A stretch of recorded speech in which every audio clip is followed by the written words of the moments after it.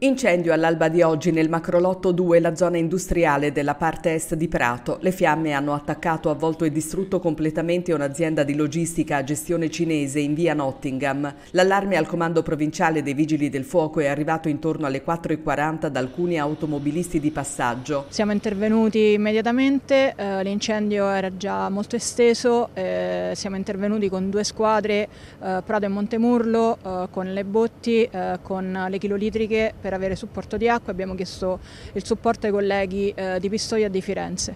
Grazie a questo massiccio intervento di forze siamo riusciti a domare l'incendio e a far sì che nel giro di un paio d'ore le fiamme fossero sotto controllo. Visibili anche a chilometri di distanza le spaventose lingue di fuoco, il denso fumo nero che si è propagato in tutta l'aria richiedendo l'arrivo anche della Polizia Municipale e del 118 in via precauzionale. Il rogo ha cancellato la logistica Xin Shundal numero 12 di via Nottingham, una delle strade principali del Macrolotto 2 al confine con il comune di Campi Campi Bisenzio. Il materiale all'interno è stato coinvolto praticamente tutto. Presto per fare ipotesi sulle cause del devastante incendio. La polizia giudiziaria dei vigili del fuoco e i carabinieri che hanno già fatto un primo sopralluogo ne faranno di nuovi nelle prossime ore. Prima finiamo le attività di estinzione e poi si faranno le opportune analisi. Importanti, se dovesse essercene bisogno, saranno le immagini delle telecamere di sicurezza installate nella zona. Praticamente tutte le aziende sono dotate di sistemi di videosorveglianza. La comandante dei Vigili del Fuoco è rimasta a lungo sul posto per coordinare l'intervento delle sue squadre e aggiornare la Procura che aprirà un'inchiesta appena saranno disponibili le prime relazioni.